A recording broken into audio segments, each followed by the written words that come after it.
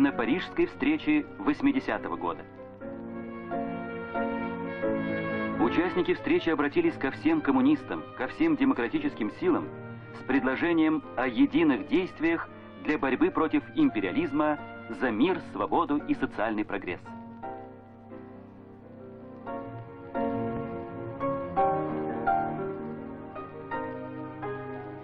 Крупнейшим международным событием стал 27-й съезд Коммунистической партии Советского Союза, принявший новую редакцию программы КПСС.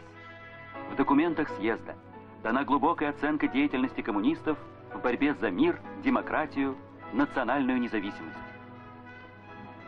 Цели коммунистических партий всех стран едины – это мир и социализм.